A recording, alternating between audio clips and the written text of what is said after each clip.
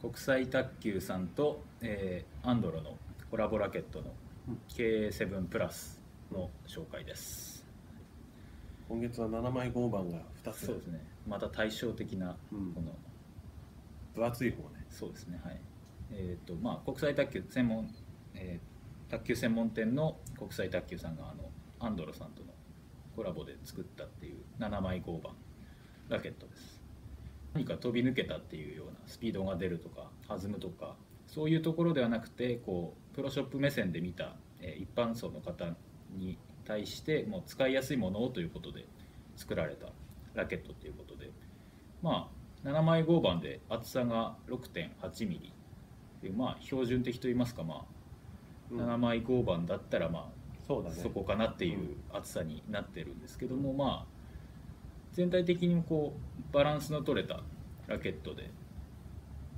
まあ敵を作らないそうですね、はい。まあ、10人いたら。まあ、7枚合板好きの10人がいた10人いたらまあ89人は「おぽいね」っていう。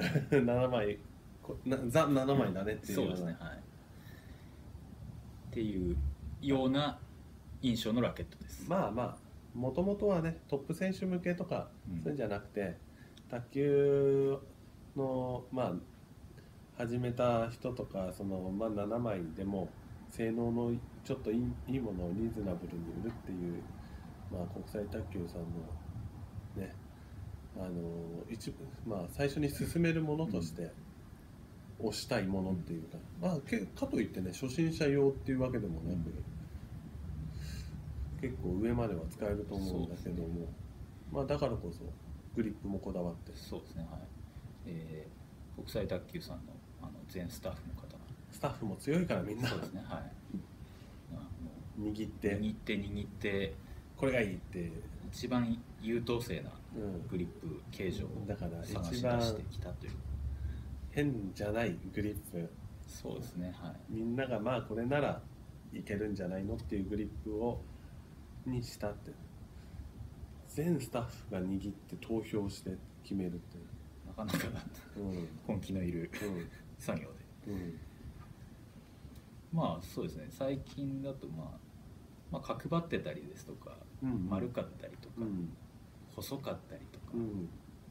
太かったりとかあるんですけども本当にこバランスうその中での一番うん。真ん中なのかなっていう形状で、うんまあ、ストレートしかちょっと握ってないんですけどもうん。本当にまあフィットするうん。感覚があってうん。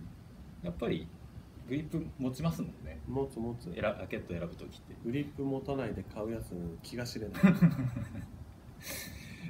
そんな感じなんですけどもやっぱり最初グリップ持ってああいいなって思ったらうん。そこから入っていくっていうケースもあるかと思うのでそういう意味では、ね、多くの、まあ、性能面だけじゃなくて握り心地といいますかそういうところでもうん多くの人に受け入れられるラケットなのかなと思います。うん